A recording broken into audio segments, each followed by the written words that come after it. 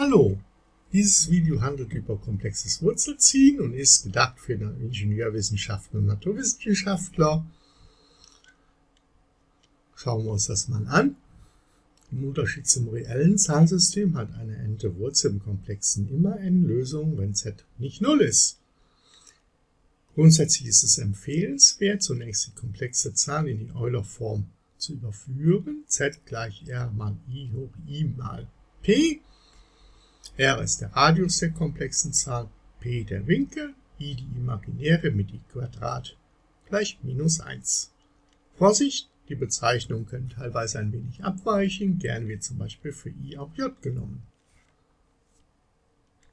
Für die enden Wurzeln Omega gilt dabei folgende Formel, Omega k gleich n-te Wurzel r mal e hoch i mal p durch n plus k mal 360 durch n für alle k aus 0 bis n-1.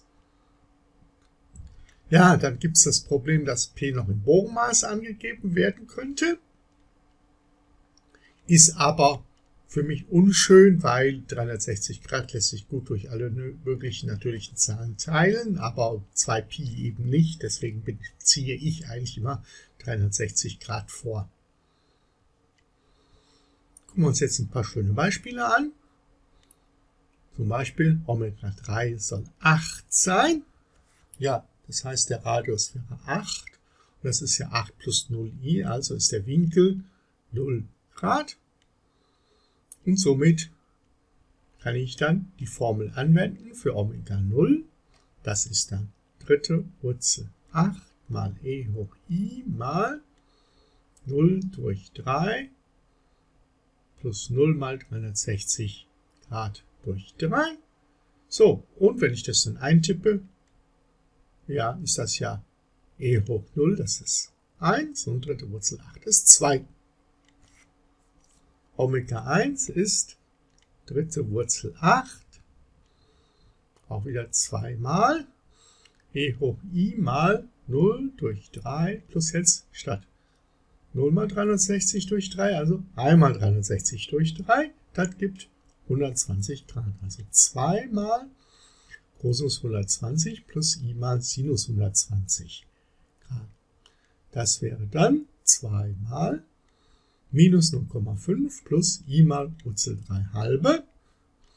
Und das ist dann minus 1 plus Wurzel 3i, wenn ich das dann ausmultipliziert habe.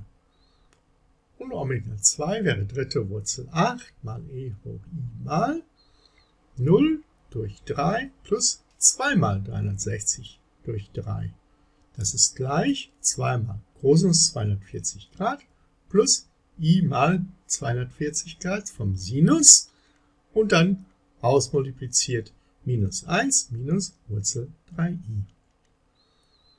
Dann schauen wir das mit Omega hoch 4 gleich minus 81 an. Das ist 81 mal e hoch i mal 180 Grad. Die minus 1 ist ja e hoch i mal 180 Grad.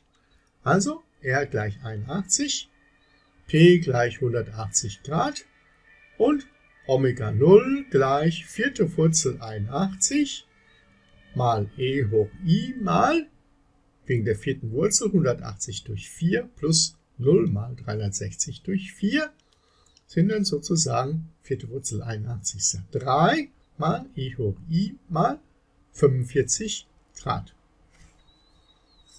So, jetzt der nächste Omega-Wert. Omega 1 ist die vierte Wurzel. 81 mal e hoch i mal 360 durch 4. Das ist dann 3 mal e hoch i mal 135. Wir sehen also von hier nach hier kommen dann immer 90 Grad dazu plus 90 Grad dazu. Und hier ebenfalls plus 90 Grad dazu. Das heißt also, hier könnte ich dann jetzt stoppen oder das versuchen dann in die andere Form dann umzurechnen, wie ich das dann gerade eben bei der Hoch-3-Funktion gemacht habe. Verzichte ich aber mal drauf, denn dafür gab es ja ein anderes Video.